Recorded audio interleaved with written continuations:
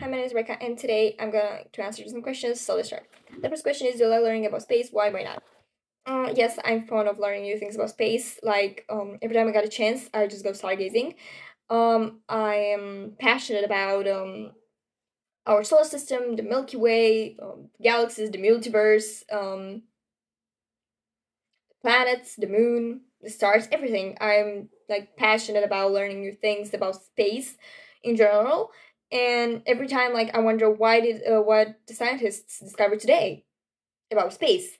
And uh, i'm like curious in general about um, all the things around us. And every time i got a chance i just um, surf the net because i enjoy serving the net and finding new things about space. Uh, the second question is would you like to travel to space one day? Why why not?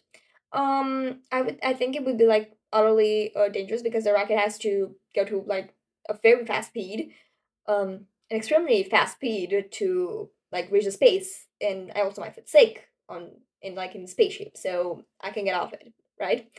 Um, and like this career is not for me, even though um, I enjoy watching films or documentaries about space.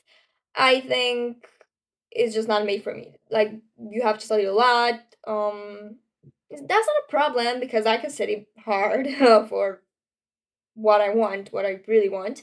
But um, this career is not for me, and I don't see myself in the future being an astronaut.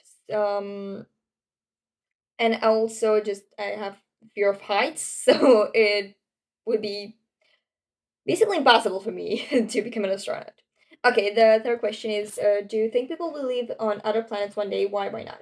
I don't know, maybe, like, perhaps. Uh, the humanity was born here, but I don't think it is meant to die here. That's a quote from a film, like, if you watch Interstellar, just, if you didn't, go and watch it right now. Um, perhaps. Um, that's a question that lives like let me let me speechless because um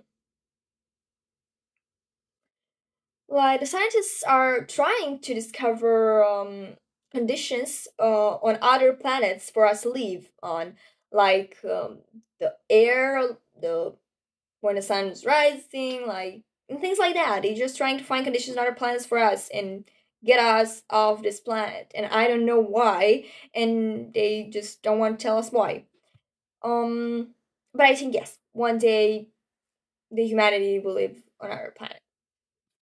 Okay, the fourth question is do you like watching science fiction films that take place in space? Why why not?